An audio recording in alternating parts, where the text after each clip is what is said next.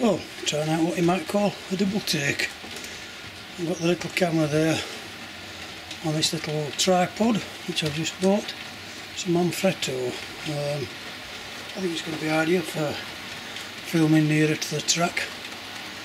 I'll just uh, see if I can get past and show you. A bit tight around here. As you can see, I'll switch this one off. The legs stretch out so you can get really down to track level. Uh, it doesn't swivel actually, the ball does. You can swivel the ball and get where you want to be with it and then tighten up. But uh, I thought it'd be a handy little tripod to use up.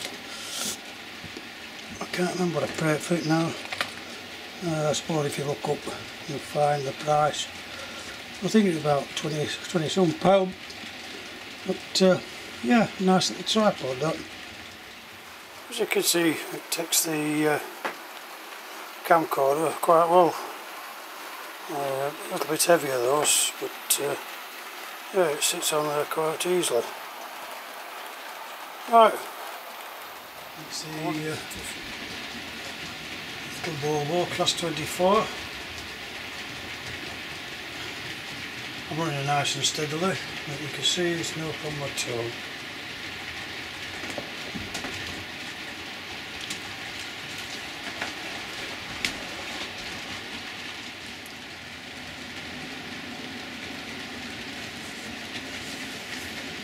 bit slower than what they were doing last weekend. My grandson had all of the controls.